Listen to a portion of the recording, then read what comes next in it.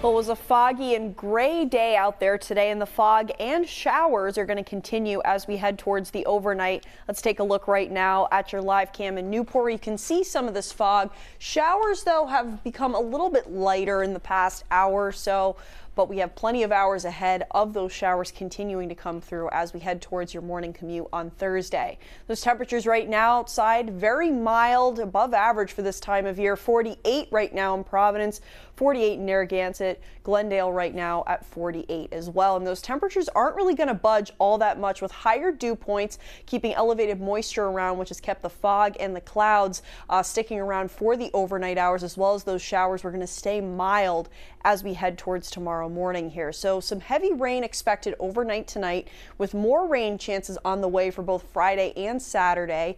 We're also going to be turning a little bit chillier with some drier weather towards the end of the weekend and New Year's Threat tracker as well here overnight going to be bumped up to medium due to the reduced visibility that we're already seeing from the fog in addition to the heavy rain making travel conditions inclement at times uh, as we head towards the morning commute on Thursday. Your satellite and radar right now looking at a little bit of a dry patch here as these showers exit for the time being but a lot more moisture on the way. Let's take a look right now to our west and south where this is the system that we're tracking here. It's going to continue to track towards southern New England bringing that heavier rain as we head towards the overnight and pre-dawn hours. And let's take a look at that timing here.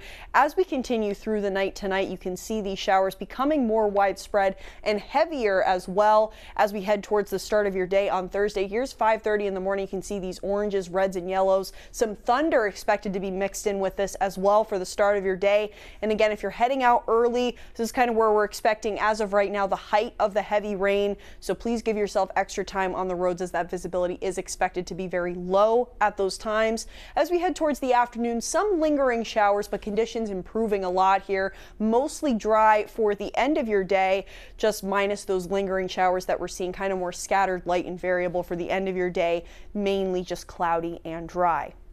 So taking a look again at your Thursday morning here, we're starting with those showers and clouds. Again, showers around this time are expected to be heavy still with some thunder moving through the area. So visibility is expected to be very low with that patchy fog as well. Showers will start to decrease, especially as we head towards right around noontime with the second half of your day improving. It's going to be cloudy throughout, but the conditions will start to be a little bit drier as we head towards the evening hours and the overnight. And those highs are going to be mild right around 50 degrees. Your bay forecast as well, visibility is expected to be very low in times of fog and showers. For your seven day forecast here, we're looking at those showers continuing through the next several days, as I mentioned, with some drier weather on the way for Sunday into Monday for New Year's. But again, overnight tonight into that Thursday morning commute, looking at reduced visibility with heavy rain expected. So you're saying we won't see the sun until 2024?